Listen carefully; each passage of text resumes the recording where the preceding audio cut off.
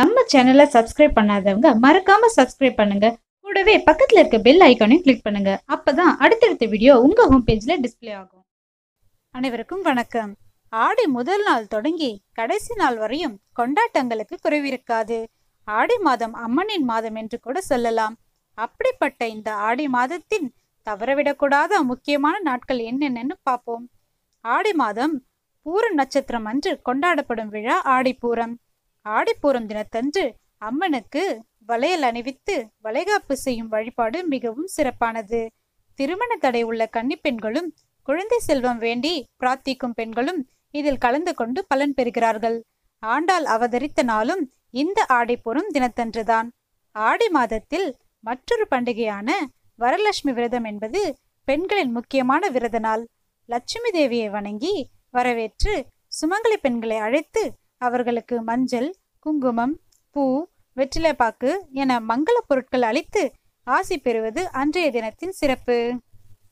ஆடி அமாவாசை பித்ருக்கள் தினமாக அனுசரிக்கப்படுகிறது. அன்றைய தினம் முன்னோர்களுக்கு தர்ப்பணம் செய்தால் ஆறு மாதம் தர்ப்பணம் செய்த பலன் கிடைக்கும். தட்சிணாயன காலத்தில் வரும் முதல் அமாவாசை என்பதால் இது சிறப்பு மிக்கதாக கருதப்படுகிறது. ஆடி கிருத்திகை கிருத்திகை நட்சத்திரம் முருகப்பெருமானுக்கு உகந்த நட்சத்திரம். ஆடி மாதத்தில் தொடங்கி ஆறு மாதங்கள் கிருத்திகை விரதம் இருந்து தை கிருத்திகையில் விரதத்தை முடித்தால் சகல சௌபாக்கியங்களும் கிடைக்கும் என்பது ஐதீகம். ஆடி மாதம் பதினெட்டாம் தேதி கொண்டாடப்படும் ஆடிப்பெருக்கு காவிரி கரையோரங்களில் காவிரி அன்னைக்கு சீர் செய்து வணங்கும் விழா. அன்றைய நாளில் புதுத்தாலியை பெருக்கி போடுவதும் முளைப்பாறை எடுப்பதும் சிறப்புமிக்க ஒன்று.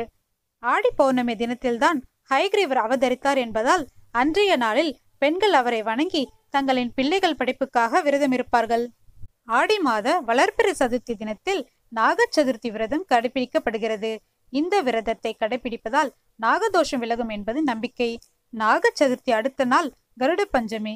அன்று பெருமாள் கோயிலுக்கு சென்று கருட பகவானை கும்பிடுவதால் மாங்கல்ய பலம் கூடும் என்று ஞான நூல்கள் சொல்கிறது.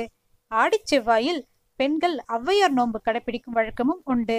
கணவர் ஆயுள் நீடிக்கவும் குழந்தை செல்வம் பெறவும் வேண்டுவர். இரவில் நடைபெறும் இந்த நோம்பில் ஆண்கள் பங்கு பெற மாட்டார்கள்.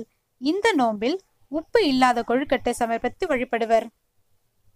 ஆடி செவ்வாய் தேடிக்குழி என்பார்கள். ஆடி மாதம் வரும் செவ்வாய்க்கிழமை தோறும் சுமங்கலி பெண்கள் மஞ்சள் பூசி குளிப்பதால் மாங்கல்ய பலம் கூடும் என்பதே இந்த பழமொழி கூறும் தத்துவம். ஆடி மாதம் சுக்ல தசமி அன்று திக் வேதா விரதமும் சிறப்பானது.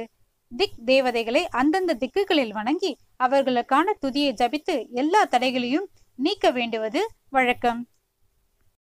இந்த தகவல் உங்களுக்கு பிடிச்சிருந்தா இந்த வீடியோவை உங்க ஃப்ரெண்ட்ஸுக்கு ஷேர் பண்ணுங்க. இது மாதிரி வேற இன்ஃபர்மேஷன் தேவைன்னா கமெண்ட்ல சொல்லுங்க. நன்றி.